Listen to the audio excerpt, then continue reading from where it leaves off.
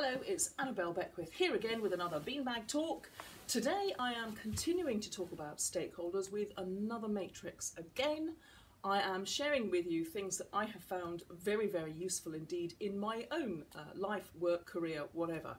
A few minutes ago I recorded a short piece on the power and interest matrix when we're considering stakeholders, which gives you some guidance as to where to focus your energies and your efforts when you're communicating with different stakeholders, depending on their level of power and their level of interest in your project. This is another matrix that I really like, and it's been devised by Peter Block. Again, if you want to look it up online, the Peter Block Trust Agreement Matrix, you will find more information about it. So here it is. Now, Whereas the power and interest matrix is very much about how you communicate with people, this is very much about how they perceive you and your project. And there's a few things going on here. Uh, again, we're working with the same sort of matrix in that here we've got the lower parameters, so somebody who doesn't trust you for whatever reason, and there might be reasons behind that, and who doesn't agree with what you're trying to do. And at the either end, the other end of the spectrum, we have people who do trust you and do agree with you. Now, it's useful to sort of mentally sort people into these categories. At this end of the spectrum, somebody who doesn't trust you and they don't agree with you, this is your adversary.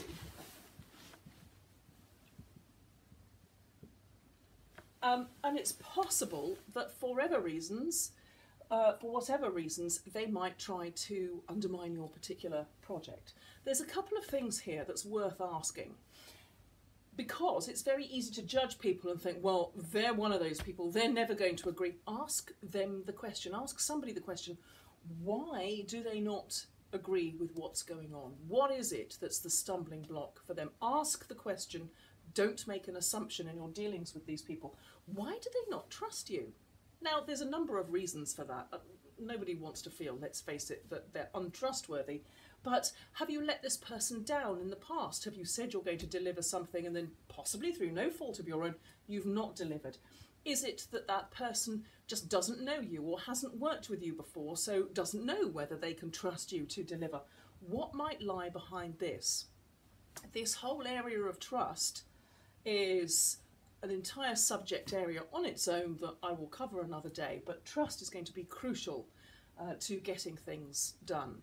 Um, Stephen Covey has said that trust has a business case. It does. It does. If you have trust within an organisation, a team, it lends itself to productivity and to profitability. But that's something for another day. Why don't they trust you and how might you go about building or rebuilding that trust? So before we continue, it's a key point, right? Who's your adversary? They don't agree with you, they don't trust you. Why? Find out, work on it. We also have people who don't necessarily trust you, again for whatever reasons, but they do agree with your project, and these are the bedfellows.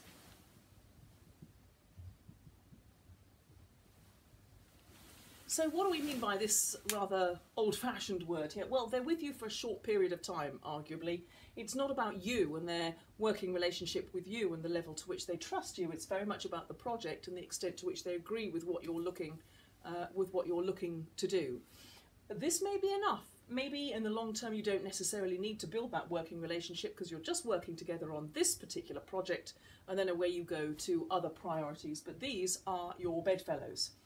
Over here, we have those people, they trust you, maybe you've worked together, maybe you've delivered above and beyond the call of duty, they trust you, and they're in agreement with what you're looking to do. And these people,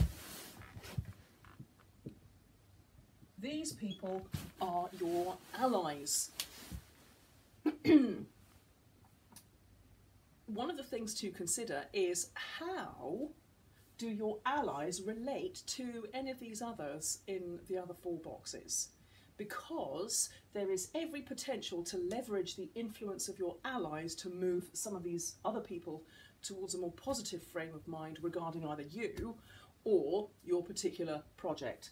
Can these people influence the bedfellows and say, actually, this person is a trustworthy individual, I worked with them for many years, etc., etc., maybe they can work with the adversary to get them to move one way or the other as well. So it's not just about you and your individual stakeholders, it's also about how your stakeholders relate to each other within your network. But we still have another one to go here. These are the people who they do trust you, they just don't agree with you. And these are your opponents. Now, for me, it was quite an important thing to recognise that there's there are these differences here, because I would tend to see things in the past as black and white. You're either for me or you're against me, black or white. There's one thing or the other, uh, and I hadn't realised that there's these other things going on. Um, I might look at my opponents and think, but I thought we got on. I thought you trusted me, and yet ask the question actually it's not about you and the trust. There's something about the thing that you're looking to do that they're not in agreement with. What is it? Can you set them straight? Do they have a point that you haven't considered? Hold the conversation, ask the open question to find out what's going on. With bedfellows, again, in the past I might have been very quick to think that they were allies. Oh, they trust me, they like me, they're, they're going to come back to me. No, they were working with me for that project because they agreed with that particular project and that I was the right person for that project. Moving forward, not so much. Maybe there's more I need to do in order to build that trusting relationship to move them over to that particular box. We also have the fence sitters.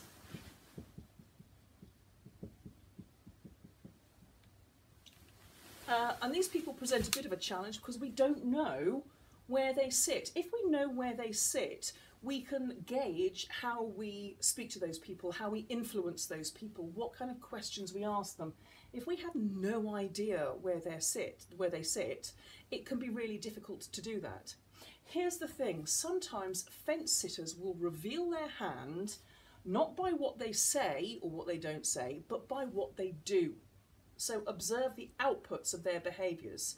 It may be that in meetings they're very quiet, they appear to be going on with things, are they in fact working really hard and they are actually your allies, they're just quiet allies?